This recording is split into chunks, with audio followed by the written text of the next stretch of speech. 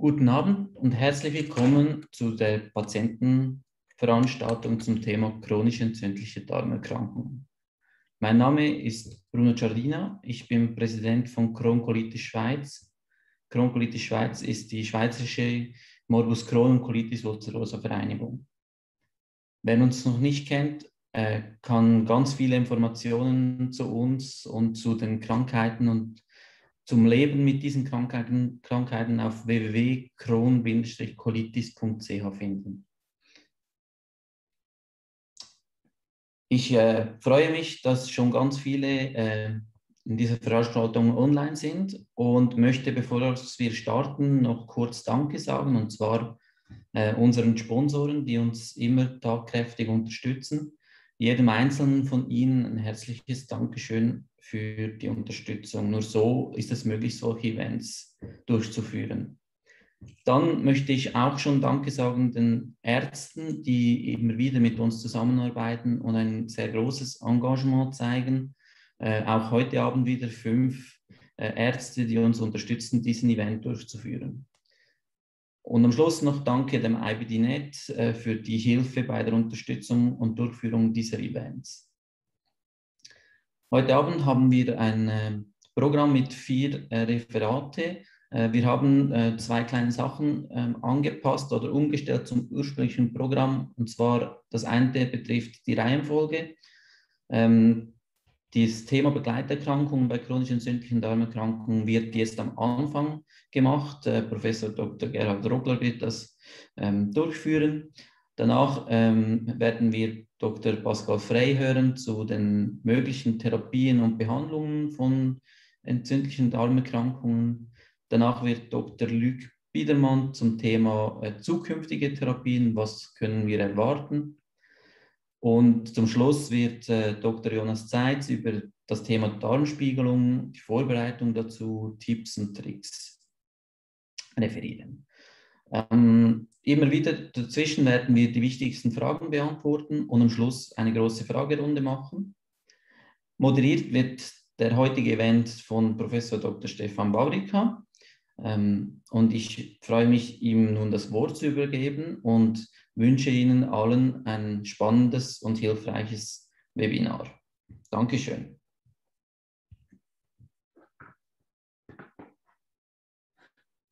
Lieber Bruno, herzlichen Dank für diese freundliche Einleitung.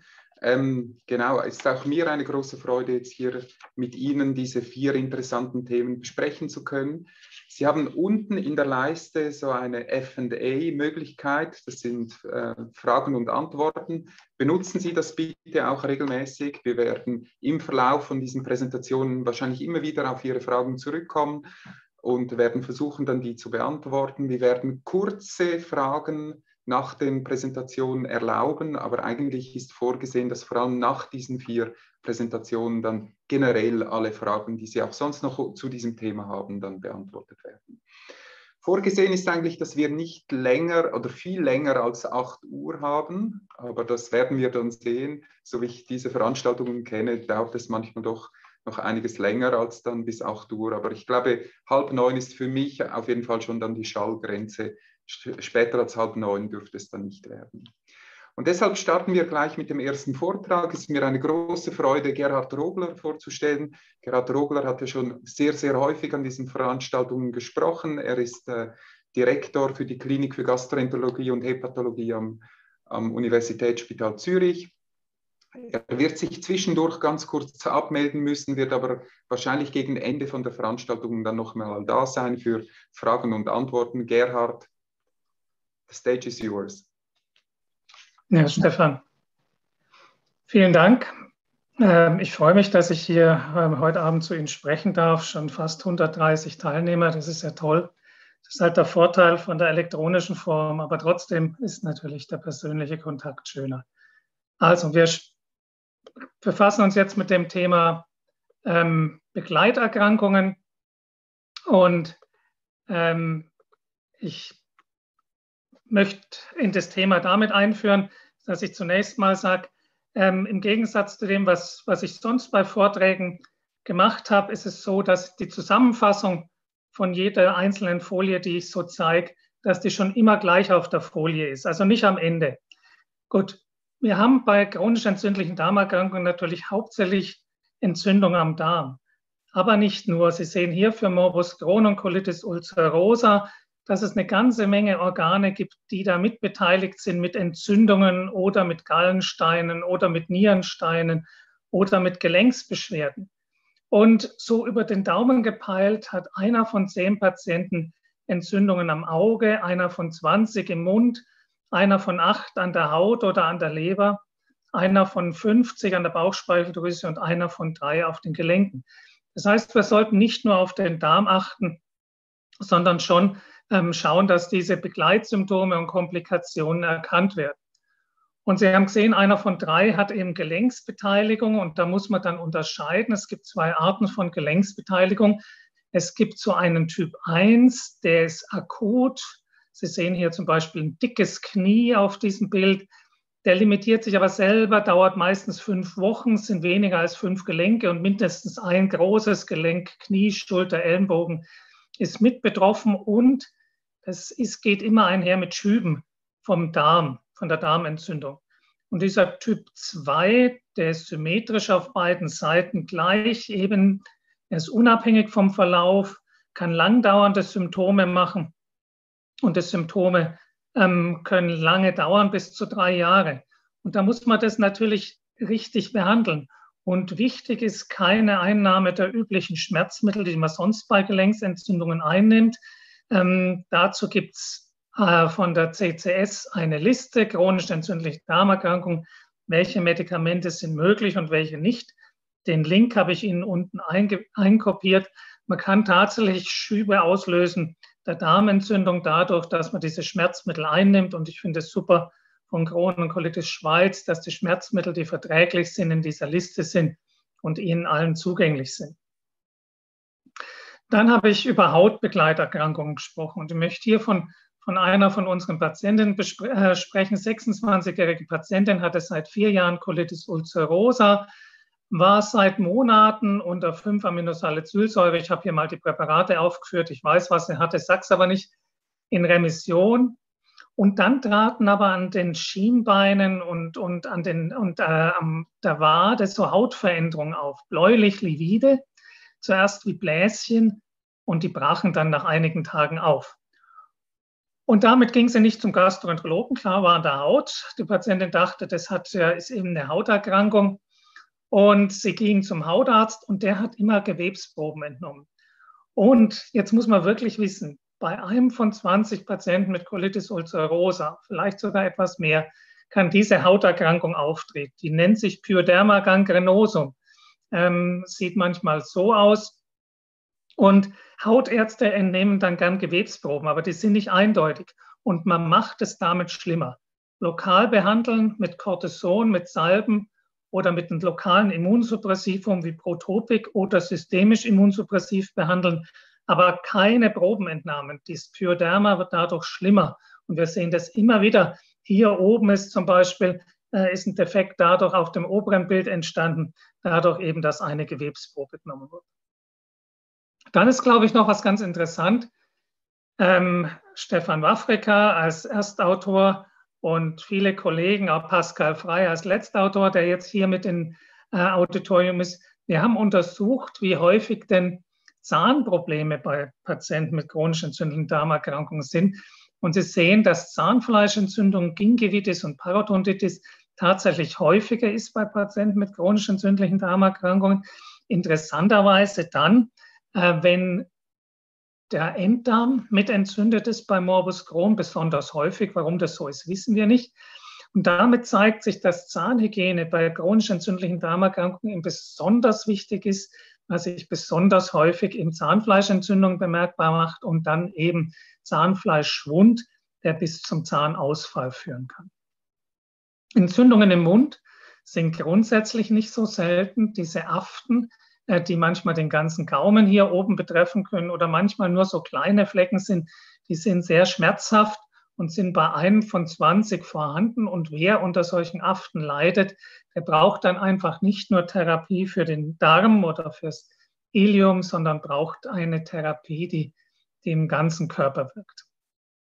Entzündungen am Auge sind, wenn man ganz genau nachguckt, relativ häufig äh, bei vier bis fünf von zehn Patienten. Aber richtige Entzündungen, die, die zur Einschränkung der Sehfähigkeit führen, sind zum Glück selten. Aber wenn man merkt, dass Sehstörungen auftreten, dass ein Flimmern vor den Augen ist, dass, ähm, dass die Augen wehtun ähm, oder dass, dass, dass das Sichtfeld grau wird und, und äh, so Fäden durchs Gesichtfeld wandern, dann sollte man Augenuntersuchungen machen lassen bei diesen Sehstörungen. Man kann es beheben, man kann was tun ähm, und es kann eben eine Begleiterkrankung vom, äh, vom Morbus Crohn oder der Colitis ulcerosa sein. Was man auch wissen sollte, ist, dass Thrombosen und Lungenembolien bei chronisch entzündlichen Darmerkrankungen häufiger sind. Sie sehen hier eine Untersuchung von 2004, CED, 600 CED-Patienten, äh, RAS, Rheumatoide Arthritis, also Rheuma und Zöliakie. Und die Kontrollen waren 700 Patienten. Und Patienten mit CED haben 3,6-fache Wahrscheinlichkeit, dass sie eine Thrombose oder eine Lungenembolie haben. Bei Zöliakie, einer anderen Darmerkrankung oder bei der Rheumatoiden Arthritis, bei einer anderen entzündlichen Erkrankung ist es weniger als normal. Also Thrombosevorsorge, auch beim Fliegen zum Beispiel, ist sehr wichtig. Ja. Bei Langstreckenflügen, beim langen Sitzen mit abgeknickten Beinen, da muss man immer dran denken, hat man ein erhöhtes Thromboserisiko. Und das ist noch ein bisschen unterschiedlich zwischen Morbus Crohn und Colitis ulcerosa. Das Thromboserisiko für Beinvenenthrombosen, Beinvenenverschluss ist beim Morbus Crohn doppelt so hoch wie bei der Colitis ulcerosa. Und das Risiko für die Lungenembolie ist bei der Colitis ulcerosa scheinbar ein bisschen größer. Aber das kommt daher, dass früher, wenn die Patienten mit Colitis die Dickdarmentfernung gebraucht haben, dass es da häufiger Lungenembolien gab.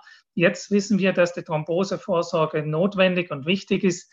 Ähm, und deshalb kommt es wesentlich seltener vor, als es früher der Fall war. Aber auch jemand, der aus dem Bett steigen kann, zwei Tage nach der Operation vielleicht, oder der nur wegen, wegen einem Schub im Spital ist und sagt, ich bin doch mobil, ich kann doch aufstehen.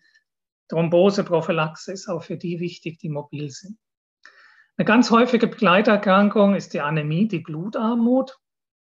Und zwar ist es so, dass, tatsächlich die Blutwerte, die, die anzeigen, wie viel roter Blutfarbstoff da ist, dass die mit der Krankheitsaktivität sehr gut korrelieren. Und Blut wird, braucht, zur Blutbildung braucht es Eisen. Und wenn man natürlich im Magen-Darm-Trakt durch die Entzündung Blut verliert oder verminderte Eisenaufnahme bei Morbus Crohn hat, dann hat man zu wenig Eisen. Die chronische Entzündung kann auch ähm, äh, zur Blutarmut führen. Dabei kommt es zur Störung von, von dem EPO, dem, dem Dopinghormon der Radsportler. Erythropoetin macht halt rote Blutkörperchen ähm, und die Bildung wird gestört. Oder wenn man zum Beispiel einen Teil des Dünndarms entfernt hat, kann das Vitamin B nicht mehr so gut aufgenommen werden. Oder Azathioprin und 6-MP können das Knochenmark schädigen. Was sind Symptome? Das sind Symptome, die man eben doch häufig hat. Kopfschmerzen, Schwindel, Konzentrationsstörungen, Haarausfall, Ohrensausen, rissige Mundwinkel sind besonders typisch, Atemnot, Abgeschlagenheit, Schwäche, Müdigkeit und blasse Haut und brüchige Nägel. Die deuten alle auf einen Eisenmangel durch den Blutverlust oder die verminderte Eisenaufnahme hin. Und wenn man solche Symptome hat, sollte man eben das Blutbild kontrollieren, den Eisenwert kontrollieren und gegebenenfalls Eiseninfusionen machen. Keine Eisentabletten, weil die die Darmentzündung verschlimmern können. Auch in der Schwangerschaft keine Eisentabletten, sondern Eiseninfusionen, weil eben Eisentabletten Darmentzündung auslösen können. Eine andere Begleiterkrankung, die wichtig ist bei chronischen entzündlichen Darmerkrankungen, ähm, ist eben die Osteoporose oder die Osteopenie, ähm, der Mangel an Knochenbälkchen, die dann zu Knochenbrüchen führen. Und da gibt es verschiedene Risikofaktoren für die Osteoporose. Und natürlich können wir an unserem Lebensalter wenig machen und manchmal an dem Gewicht eben auch nicht viel, wenn das dadurch kommt, dass eine Darmentzündung da ist. Aber an den anderen Risikofaktoren, am Kalzium- und Vitamin D-Mangel, an der Einnahme von Cortison über längere Zeit, am Bewegungsmangel und am Rauchen, da können wir natürlich durchaus was machen. Und diese Risikofaktoren, die, die eben verstärkt zum Knochenschwund bei chronisch entzündlichen Darmerkrankungen beitragen, die können wir eben reduzieren. Wir sollten Cortison nicht über längere Zeit benutzen. Ähm, wir sollten Sport machen, wir sollten Vitamin D und Kalzium einnehmen, äh, auf jeden Fall. Und das Rauchen natürlich stoppen, insbesondere natürlich bei Morbus Crohn, wo es noch die Krankheitsaktivität verstärkt. Und dann ist es interessant, das haben ähm, wir auch in der Schweizer Kohorte gezeigt, äh, da waren auch Pascal Frey, Jonas Zeitz, Luc Biedermann, Stefan Wafrika und ich, also alle Redner heute waren an dieser Untersuchung beteiligt. Und da konnten wir zeigen, dass bei fast 8 Prozent aller Patienten mit Crohn und 4 Prozent aller Patienten mit Colitis ulcerosa Gallensteine gefunden werden. Jetzt, woran liegt es? Normalerweise wird die Galle von der Leber in den Gallengang ausgeschieden und wandert dann im Darm und wird dann, wenn sie kein Fett zum Verdauen äh, emulgiert, wird die wieder im unteren Dünndarm aufgenommen ins Blut und wandert zur Leber zurück. Und die zirkuliert vier bis zwölf Mal an einem Tag so durch den Darm wieder zurück zur Leber und geht wieder ins Blut. Und jetzt ist es eben so, wenn der Darm entzündet ist, dann passiert das nicht mehr. Und die Galle schießt in den Dickdarm und kann dort Durchfall machen. Das ist das eine, was schlecht ist. Und das zweite, was schlecht ist, ist, dass dadurch, dass die Galle nicht mehr zur Leber zurückfließt, ist in der Gallenflüssigkeit ein Missverhältnis zwischen Cholesterin und Gallensäuren da. Und dann könnte, das Cholesterin eben zu Kristallen werden und es bilden sich Cholesterinsteine, also Gallensteine. Und ein Risikofaktor, das sieht man da unten, ist, wenn Surgery, wenn eine OP stattgefunden hat, ist das Risiko für Gallensteine zweieinhalb Mal höher. Also das zeigt, dass die Hypothese, wie die entstehen, richtig ist. Und wenn man Beschwerden hat, kann man das gut hier im Ultraschall nachweisen. Und die Gallensteine kann man dann mit einer Spiegelung zum Beispiel aus dem Gallengang entfernen. Hier sehen Sie, wie so ein Körbchen in den Gallengang eingeführt wird, wie der Gallenstein in diesem Drahtkörbchen gefangen wird und dann rausgeholt wird. Also Gallensteine bei Beschwerden rechtzeitig entfernen lassen, bevor sie Probleme machen. Und sie sind eben, wie gesagt, bei chronisch entzündlichen Darmerkrankungen gehäuft vorhanden wenn dieser Galle-Kreislauf unterbrochen wird. Auch das Risiko von Nierensteinen ist etwas erhöht. Es trifft immer noch nur einen von 20, aber trotzdem mehr, als wenn keine chronisch entzündliche Darmerkrankung vorhanden ist. Und zwar sind es vor allen Dingen die Steine in der Niere aus Oxalsäure, die Oxalsäuresteine. Und wie kommt es zustande? Es gibt wieder bestimmte Risikofaktoren. Frauen sind weniger betroffen. Ähm, man ist mehr betroffen, wenn man gleichzeitig Schmerzmittel einnimmt. Und Darmoperationen äh, machen das Risiko höher. Und warum ist es so? Ähm, der Dünndarmkron führt zum Beispiel zum Verbleib vom Fett im Darm. Das Fett kann nicht so gut aufgenommen werden. Es besteht eine eingeschränkte Verdauung. Das Fett, das im Darm bleibt, das bindet Kalzium. Calcium bindet normalerweise aber Oxalat und verhindert, dass es aufgenommen wird. Und wenn das Calcium, weil das nicht gut aufgenommen, äh, weil das durchs Fett gebunden wird, das Fett wird nicht gut aufgenommen. Also wenn das Calcium durchs Fett im Darm gebunden ist, dann findet mehr Oxalsäureaufnahme statt. Und dann gibt es eben diese Oxalatsteine. Und wie kann man es verhindern? Naja, man kann manchmal Darmoperationen ja schlecht rückgängig machen und damit hat man einfach die erhöhte Oxalsäureaufnahme. Also muss man häufig oder manchmal oxalsäurearme Kost einnehmen. Und Sie sehen schon, da gibt es Lebensmittel mit niedrigem Gehalt, mittlerem Gehalt oder hohem Gehalt. Naja, solche Listen sind immer schwierig und in der heutigen Zeit machen wir es uns einfacher. Es gibt die Oxypur-App und da kann man dann gucken, was man gerade äh, zum Mittag hat und dann gibt man das ein und dann weiß man sofort, welche Lebensmittel viel Oxalsäure haben und welche wenig und kann damit sein Risiko für Nierensteine vermindern. Jetzt habe ich Ihnen ein Potpourri gegeben von wichtigen Begleiterkrankungen, die auftreten immer wieder bei unseren Patienten. Ich bedanke mich für Ihre Aufmerksamkeit und bin gern bereit, Fragen zu beantworten. Danke, Gerhard. Sind ein paar wirklich gute Fragen reingekommen. Sind denn Thrombosen Risiken nur im Schub vorhanden oder ist das ein generelles Risiko? Das ist die erste Frage. Das Risiko ist, ja, das Risiko ist besonders hoch im Schub, aber es ist ein generell erhöhtes Risiko. Das heißt, auch wenn kein Schub da ist und man sitzt lang im Flieger und hat die Beine abgeknickt, ist das Risiko grundsätzlich erhöht. Im Schub ist es bis achtfach erhöht im Vergleich zu jemand, der keine chronisch entzündliche Darmerkrankung hat. Wenn man keinen Schub hat, dann ist es zweieinhalbfach erhöhtes Risiko. Also auch ohne Entzündung ist es immer noch erhöht. Gut.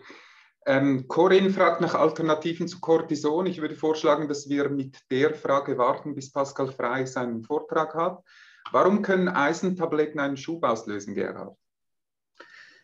Also das Eisen liegt, äh, wenn es als Tablette geben wird, in der Verbindung vor, die einfach lokal äußerlich äh, zur Veränderung von der Motilität führt und die Darmzellen reizen kann. Das ist der Hintergrund. Passiert nicht bei jedem, aber bei manchen kann es passieren. Und ähm, wenn Eisen aber in den Zellen drin ist, dann ist es erstaunlicherweise antientzündlich. Also wenn es über die Blutbahn kommt, dann ist es nützlich und reduziert das Entzündungsrisiko. Wenn es über den Darm kommt, ist es eher ungünstig. Und wir sehen schon bei vielen von unseren Patientinnen, die gerade mal schwanger werden und dann von den Gynäkologen pauschal ihr Elevit kriegen, das enthält 60 Milligramm Eisen, dass dann Beschwerden auftreten und die Darmentzündung sich verschlechtert. Mhm. Gut, dann ähm, lassen wir dich jetzt springen. Viel Glück.